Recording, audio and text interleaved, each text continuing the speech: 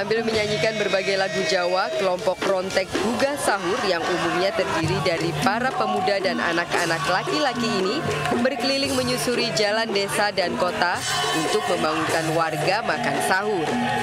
Rontek Gugah Sahur ini selalu dilakukan di bulan Ramadan mulai pukul 2 dini hari hingga sekitar pukul 3 dini hari. Alunan rontek ini diiringi berbagai gamelan Jawa seperti gendang, gong, sarong, dan jedor.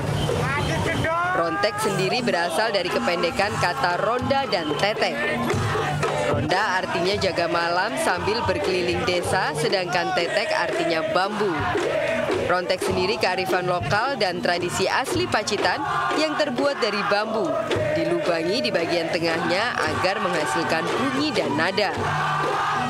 Dalam perkembangannya, rontek gugah sahur sebagai seni tradisional asli Pacitan ini tidak hanya untuk gugah sahur saat bulan Ramadan, namun telah dimainkan di berbagai ajang festival, acara penyambutan tamu dan hajatan. Pemkap Pacitan mendorong agar munculnya rontek gugah sahur ini menonjolkan unsur seni dan hasanah budaya asli Pacitan.